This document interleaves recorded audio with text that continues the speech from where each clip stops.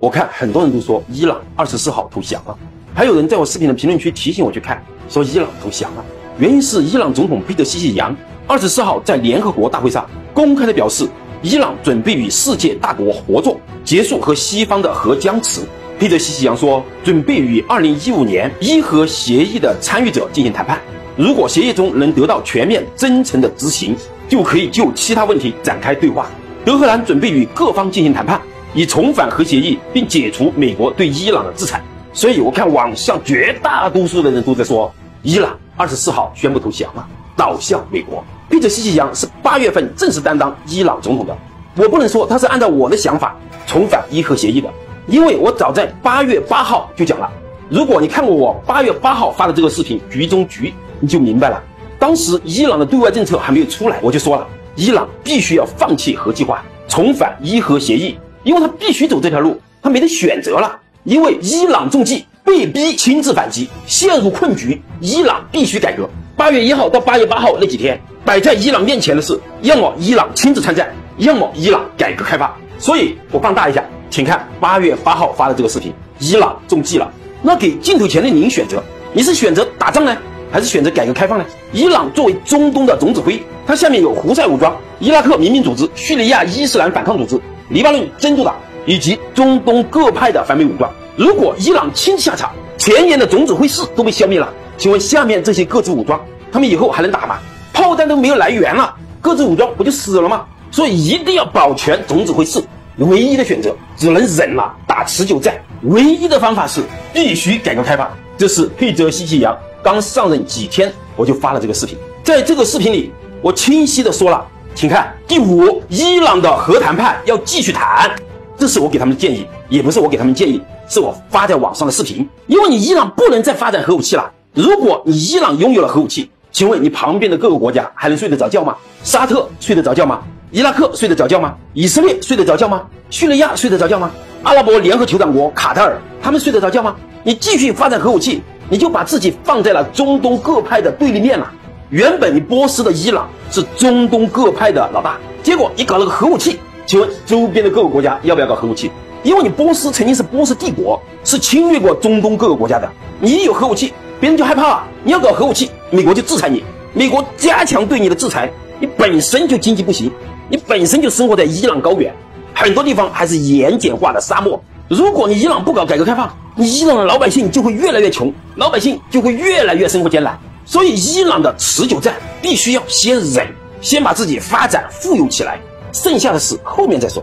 不能激动，不能来不来喊打喊杀，自己亲自去打，结果被强大的美军把你伊朗的导弹部队打得稀里哗啦，把你原有的离心机摧毁掉，那样的结局会更惨。所以我早在八月八号发视频就说了，伊朗必须要进行核谈判，一定要继续谈，因为整个国际局势是西方和老美已经开始走下坡路了。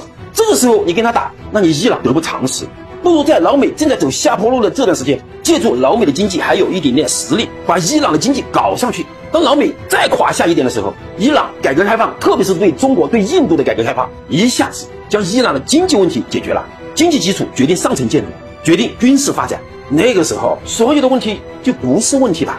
在八月八号的视频里，我提了七条建议，其中第一条叫人才改革。青年创新力强，因为伊朗的教育水平高，要大量的启用年轻人。那八九十岁的人还在那岗位上站着，影响了、限制了年轻人的发展。因为年轻人更国际化、更全球化，启用人才，伊朗才有未来。第二条叫去资源依赖，走现代化道路。伊朗你不能老依靠卖石油，老依靠卖那个资源，那是不长久的。必须要搞全面的现代化，特别是要加大基建的投资。要想富，先修路，引进中国的高铁，请中国人给他去修高速公路，因为全世界只有我们中国在青藏、川藏高原修了国道。要想富，先修路啊，村村通公路，百姓就变富。第三，我给的建议是加强国防防空人才保护。伊朗最大的问题就是防空问题，所以伊朗的领导人老是被炸。你讲那些别人欺负你、别人轰炸你、别人侵略你，你讲那些道理没用的。你要有能力保护你老百姓，保护你的官员，保护你的科学家。科学家死了那么多，军方的领导死了那么多，你打悲情牌，全世界别人仅仅是同情你一下，但谁能帮得到你呢？帮不到你啊！别人没有利益，不可能平白无故的帮你。第六条给他的建议是要做纯洁队伍，内部要做整风运动，要抓汉奸，不然别人怎么能定位那么准呢？第七就是链接“一带一路”，吸引外资。要知道，全世界人口最多的国家，一个是中国，一个是印度。如果你怕美西方国家渗透，你可以先对中国、印度进行全面开放嘛，引进中国的高铁，引进中国的盾构机，把伊朗高原的各山脉之间全部打通，将各个城市全部用高铁联合起来，联系起来，四通八达。没钱你可以用石油、用天然气还嘛。中国人坐飞机去你伊朗、去你德黑兰，你象征性的收三百块钱人民币好了，不要收那么贵的机票。整个伊朗人口才九千万人，中国人口十四亿，印度人口十四亿，加在一起二十八亿，因为飞机票等于是免票，每年有个两三亿去到你伊朗，每个人在你伊朗花个五千块钱，你想一想，五千块钱人民币乘以三个亿的人数，那你伊朗几年时间就迈入了中等发达国家的行列了。所以对伊朗。这个未来的规划，我们讲了好多集。伊朗必须只能打持久战，而且自己不能出面，而且必须向美国示弱，向一个正在走下坡路的美国示弱。这不是投降，这是战略。所以这两天很多人都说伊朗投降了，伊朗投降了。二十四号宣布投降了。好在伊朗按照我们八月八号所说的，伊朗的核谈判要继续谈，伊朗才会拥有美好的明天。如果错过了九月二十四号联大上宣布同意伊核协议。同意继续谈判。如果错过了这个机会，那等于是插秧的时候你不去插秧，你天天在家里搞卫生。请问你搞卫生能搞出价值吗？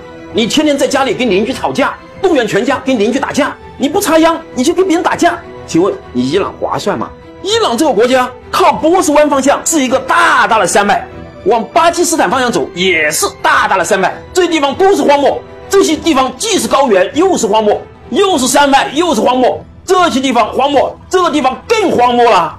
这些地方荒漠，荒漠，荒漠。伊朗真正环境好的，在里海的南面这一圈，在德黑兰的这一圈。